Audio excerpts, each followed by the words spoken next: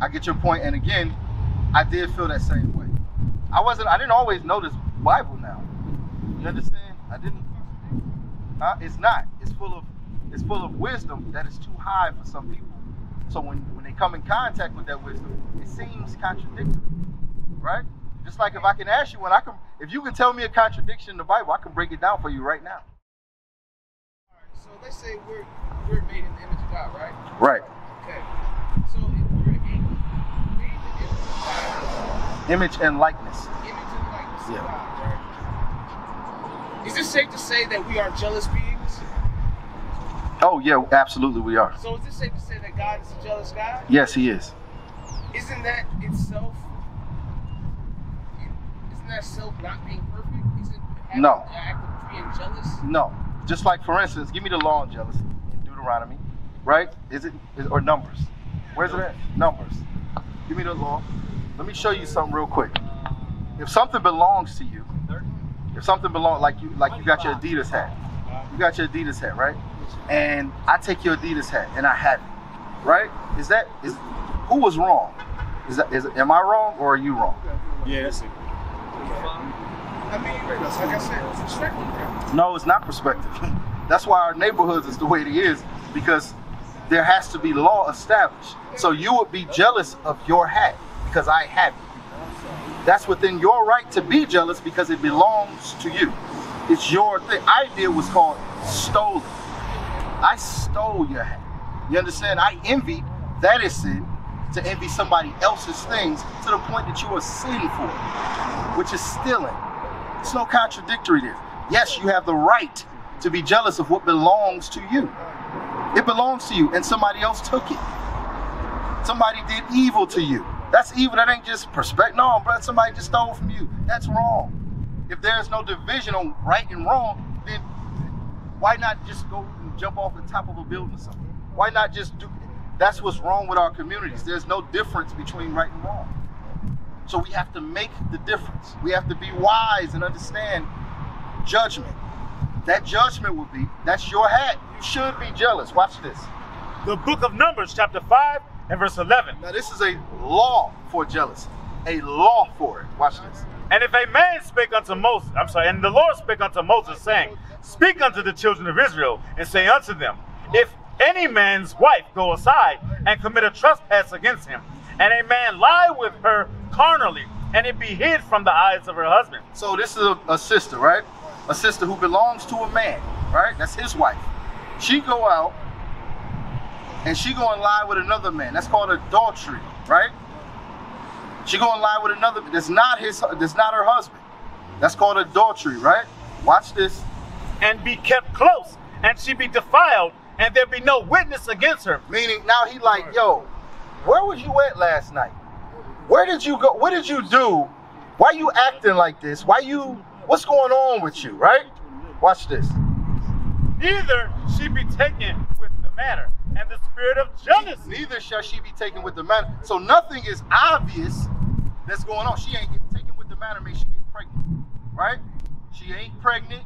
She ain't uh, uh, uh, just bounce with the brother. She come back home and everything, everything good. She ain't tell you that it happened. None of that, right? She just did. But you like, yo, it's something, something up with you. You different. Something, something ain't right, right? Watch this. Read it again. Verse 14. And the spirit of jealousy, And the spirit of what? jealousy, there's a spirit of jealousy. But rightfully so if she ain't acting right. Where was you at last night? We was arguing, you bounced, you come back happy. What's going on? Right. What's going yeah, you what's going on? So rightfully so, that husband has what? Jealousy. Jealousy. Jealousy. And that's rightfully so. That's rightfully so. Otherwise, yeah, what oh you the other dude piped it down. Yeah, just whenever you want to go back, just go ahead. It's fine. It's complete. That's that's simple as hell. That's crazy. That's why it's AIDS, STD, all that running rampant in our communities. That's why. But there is a spirit of jealousy. And it's the, the point is that it be rightfully guided. Rightfully guided. There's there's uh, uh, uh this is when you can be jealous. This is when you need to check your own spirit. Get your own mind right. You bugging out, right? So it's just long as long as it's within realm of, of the law, realm of, of wisdom of God, it is what it is. So that's not a contradiction. What else you got? Okay, good. So let's learn about God some more. 20 again. We're just gonna read down a little bit. The book of Romans, chapter 1 and verse 20. For the invisible things of him from the creation of the world are clearly seen, being understood by the things that are made, even his eternal power and Godhead. Right, so it's an eternal power and Godhead to say, I can't make a tree that was here before long before me. But there was something that did this. There was some I can't see him, neither do I uh, he's spoken to me, neither has he expressly manifest his own self to me. However, all these things that a man cannot create are everywhere around me, and they were here before man. They were here before man. Clearly, there's a God. Clearly, there is a God. Read on.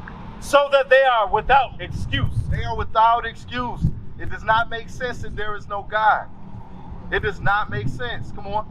Because that when they knew God, they glorified him not as God. But the problem is, when you find out there's laws, most people say there is no God because you understand if there is God, you understand that there is something that you must do to please Him. Right. You understand there's responsibilities that you have for your soul. So a lot of people, especially our people, would like or rather say, there is no God. I don't believe in God. Because that's easier. Now I can continue stealing, smashing, smashing uh, uh, my sisters and not marrying them, being a baby dad. I can continue doing any evil I want to do. And then just tell myself, it's no God. There is no God. And it's all a lie. Read on. Was it more on that? Yes, Come on. Neither were thankful, but became vain in their imaginations, and their foolish heart was darkened. He says, and their foolish heart was darkened, meaning every day that they say that to themselves and they tell themselves that lie, you do more and more and more and more evil. You do more and more and more and more wickedness because you're practicing an evil manner. You get good at anything you practice. Anything you practice, you're going to get good at it. You got any questions, brother? Huh? You just listening? All right, you know you're an Israelite? That's your nationality. I ain't telling you no religion. I'm not telling you my opinion. That's what you are. You can say, no, I'm not. Don't change what's in your blood. That's what we talk. We talking about bloodline. We talking about what's in your blood. All right. We talking about what's in your blood. What's in your blood is the DNA, the blood of Jesus, the blood of all the Israelites. That's what I'm talking. What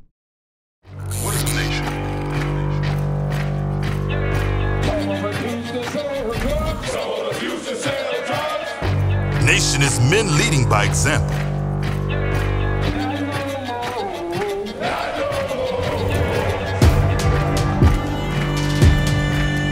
Nation is family.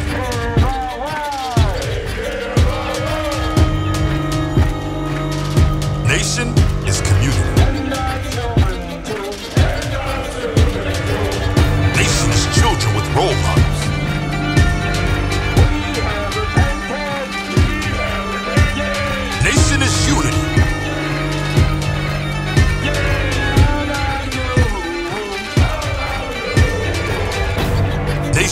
you. And finally, my brethren, be strong in the Lord. His word, his word.